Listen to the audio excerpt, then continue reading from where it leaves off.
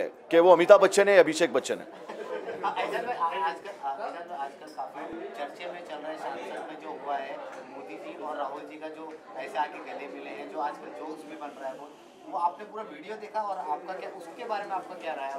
भाई शायरी में उसको ख़त्म करूँगा कि सियासत मेरी तुझसे कोई दुश्मनी नहीं, पर यह नफ़रत भरा चलन मुझे अच्छा नहीं लगता।